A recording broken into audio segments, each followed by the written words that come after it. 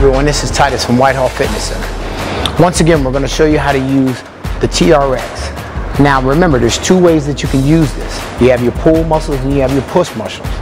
So right now, we're going to show you how to do the push muscles. Okay, so we're going to do chest, shoulders, and we're going to do our triceps.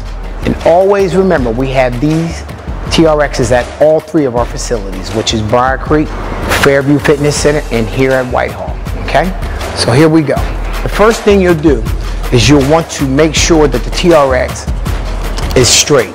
So, and make sure that you have it leveled right.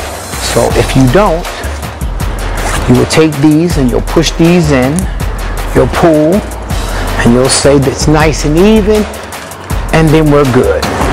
Anytime you're working your push muscles, you want to be facing outward. Remember, get you a nice square base so that you're nice and balanced out push.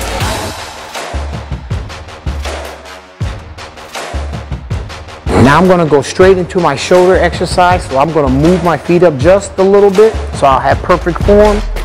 And from here, head down, shoulders rotate out.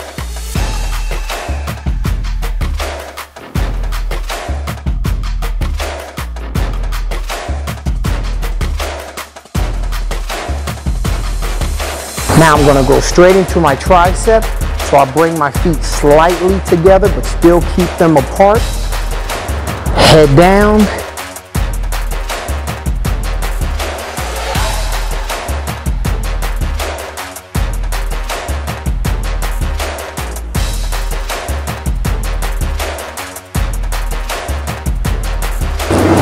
And there we have three great exercises that we can do with the TRX and get ourselves a great workout right here at Whitehall Fitness Center. Thank you.